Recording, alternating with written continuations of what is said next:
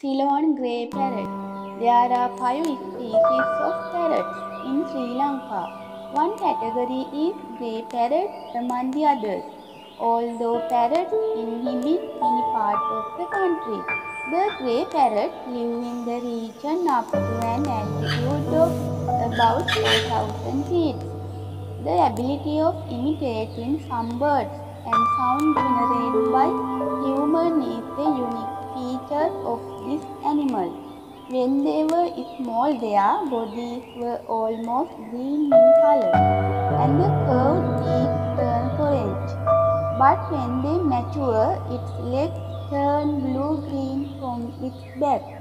Adult males are about 40 centimeters long and their beak is red. But the parrot beak become black while eating fruit and other nuts. They live in a nesting in a tall trees and lay two or three eggs at a time.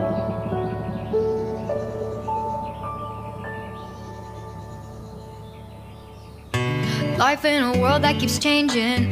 Think that it's progress you're making.